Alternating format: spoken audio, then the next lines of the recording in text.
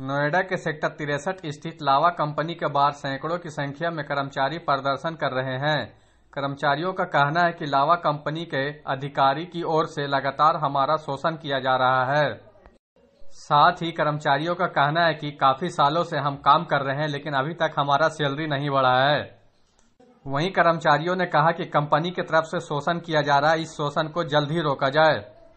वहीं कर्मचारियों ने आरोप लगाया कि देर रात तक काम करते हुए कर्मचारियों के साथ छेड़छाड़ किया जाता है और जान से मारने की धमकी भी दिया जाता है।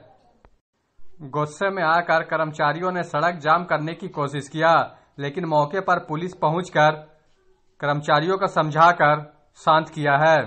कर्मचा...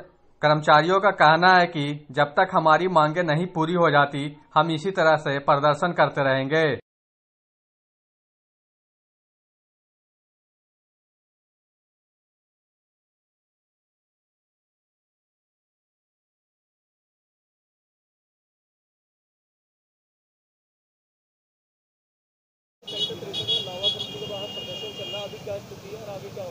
सिचुएशन नॉर्मल है अभी, लोग बैठे हुए हैं यहाँ पे और इनके एचआर के रिप्रेजेंटेटिव भी आ गए। कंपनी का जो मालिक है, उनको भी बुलाया जा रहा है।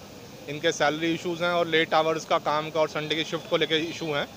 तो वो इनके कंपनी के मालिक से बात कराई जा रही है और इनके जो भी लेबर लेबर के जो डिपार्टमेंट के लोग हैं, उनको भी बुला लिया है। कोई भी अगर लेबर का यहाँ पे उनके साथ प्रताड़ना हो रही है तो लेबर डिपार्टमेंट को भी इन्फॉर्म किया जाएगा कि कंपनी लेबर को तंग कर रही है।